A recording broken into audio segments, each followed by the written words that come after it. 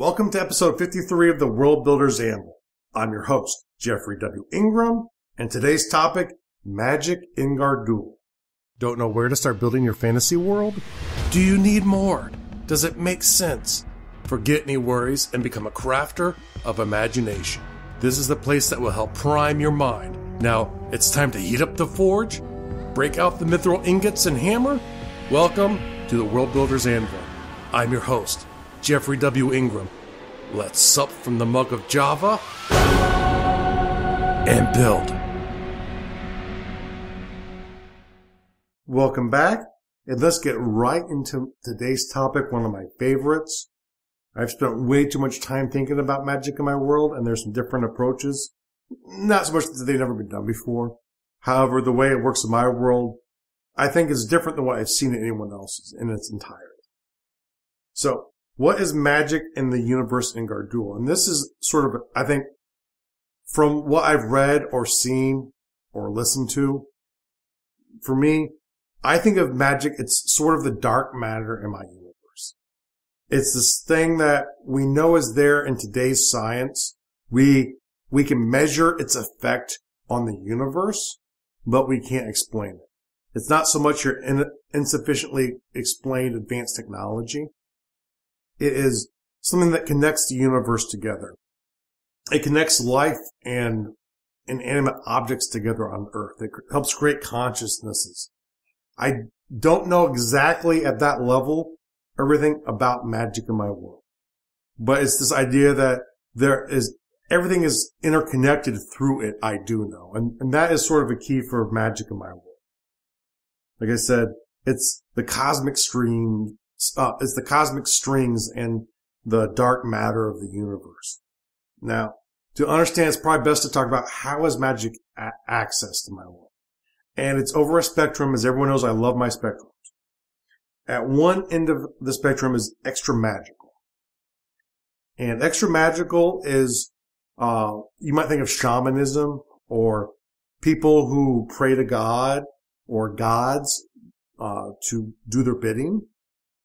That is extra magical. The person themselves cannot cause the effect that they're trying to generate. So they are going beyond themselves to do it.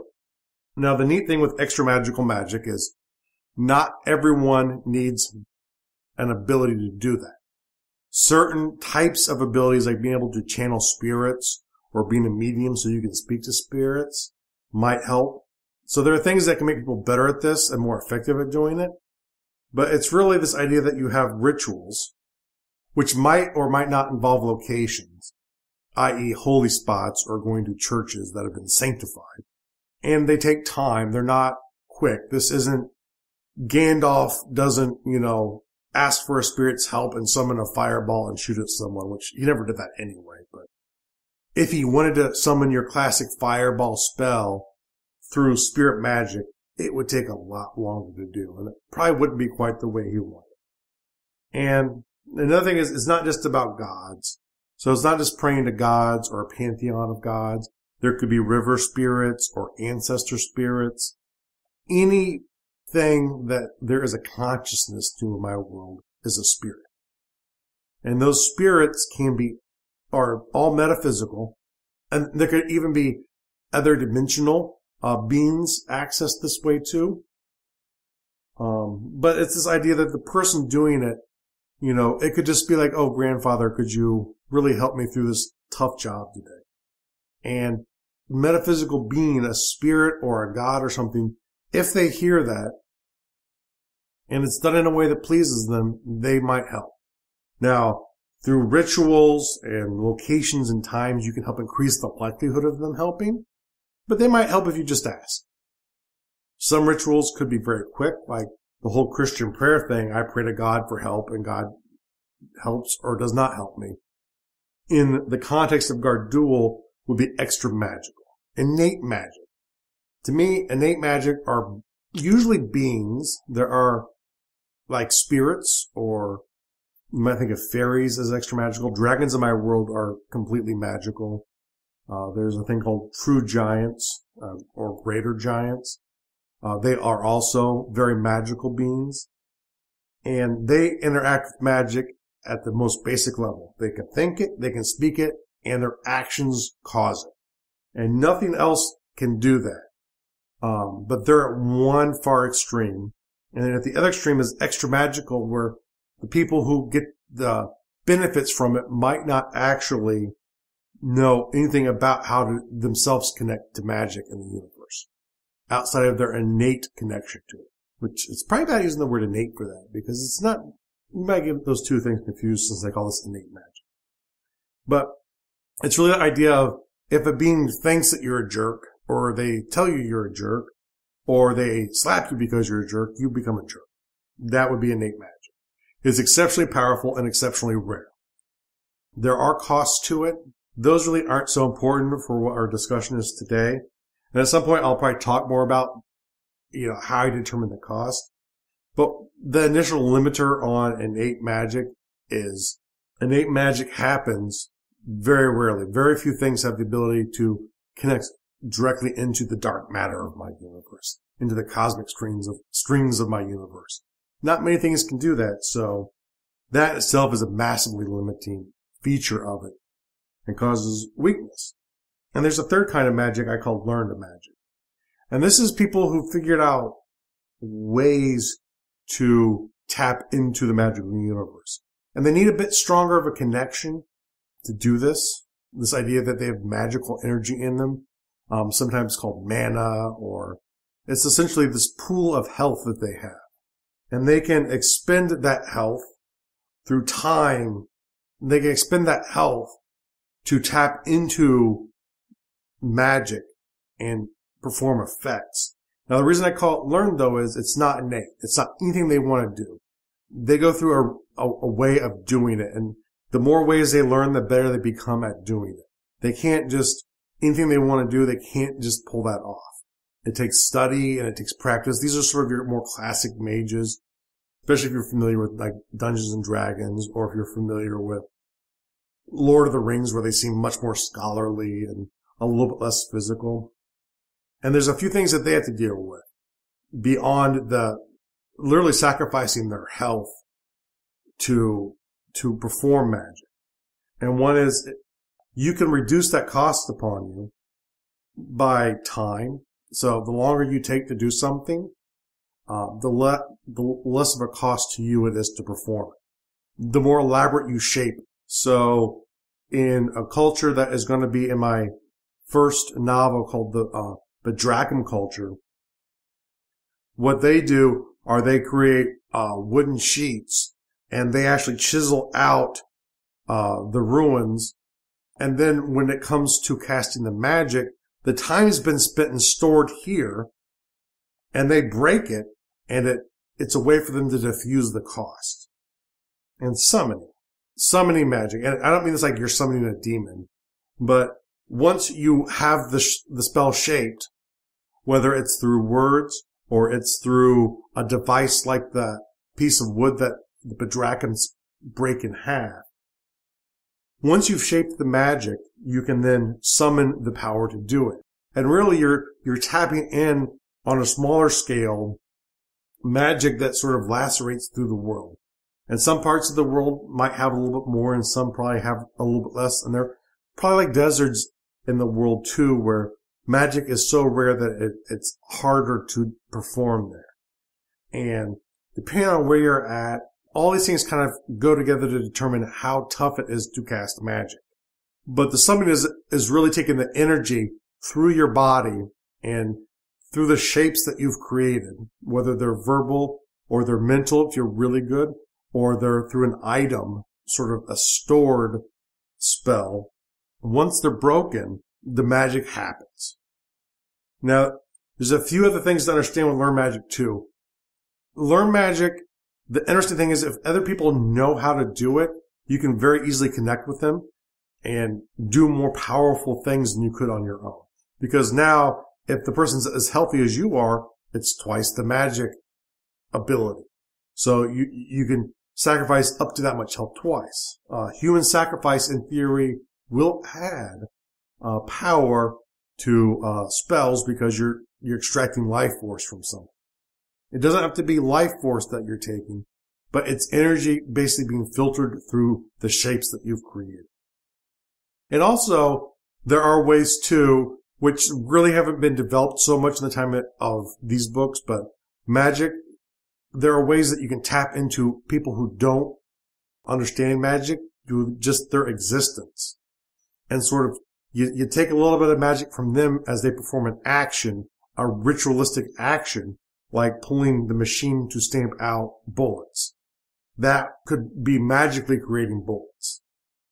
Now, you notice I didn't get into too much detail on what any of the things I said, like what are the rituals, what are the locations or the time, time lengths it takes. Or magic is very influenced by culture.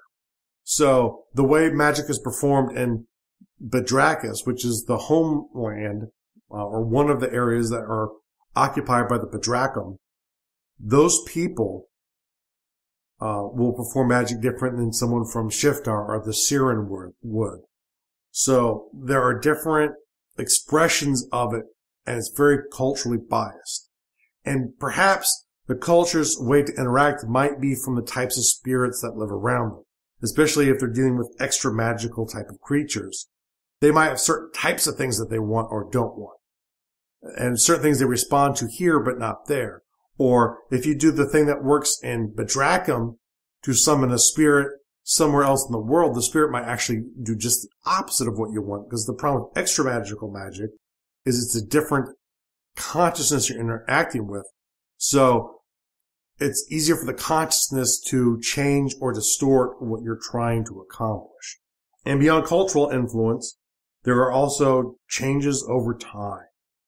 The way the Badrakan people started performing magic versus where they were in the Middle Ages versus where they were in the Industrial Age versus where they are in the Space Age are all different, which leads to this thing I like to call noun confusion. And noun confusion in my world is where you maybe don't call something magic, but it is. Billy's empathetic. So Billy must be a mage. Maybe. Maybe he can read expressions really well. Maybe he's tapping in magic and maybe that's the only way he can tap into magic, but he is. So there's noun confusion. In my world, mages end up becoming the people who run corporations because the ritualistic building of things is really magically produced in items. And people don't think of it necessarily as magic, but it really is in the world of Gardul. The assembly line to make a car is a magical factory. And even though it might resemble exactly the same way it does on Earth, doesn't make it not magical. Just because people understand better what's happening, the changes in the metallurgy, and the more advanced they become at making cars, the more they understand about the science of metal, the more they think that they're in control of it, but it's really a magical process. So industry would be confused with magic. So it, it can lead to noun confusions in my world. And it's meant, meant to. Because the question is, if you see something happening, is it real or is it magic? Who knows? And does it really matter if it has the same effect on you? If a mage pulls out a sword and strikes me with it, does it make it any less painful? The answer is probably not. So whether that sword was constructed and, and you could really say there's no magic involved in it, or if it was completely constructed versus magic, if I get hit by that sword and it hurts me the same, I don't care. The rating for this episode is basic. This is, to me, a basic topic. You need to know the magic of your world, or if you're ever in my world, you need to know the magic of mine, but, you know, for the world builder task, it's the magic of your world. or for the rating as well. Uh, or for the rating, it's the rating, you know, is based off of what is going to happen for you. Because you need to understand the way magic is performed, whether it's an extra magical thing, an innate thing, a learned thing, something else that you've come up with. Or maybe you have a limited version where, sure, there's learned magic, but it's only this one specific way it works at all across the world. Or maybe through a culture. Or extra magical.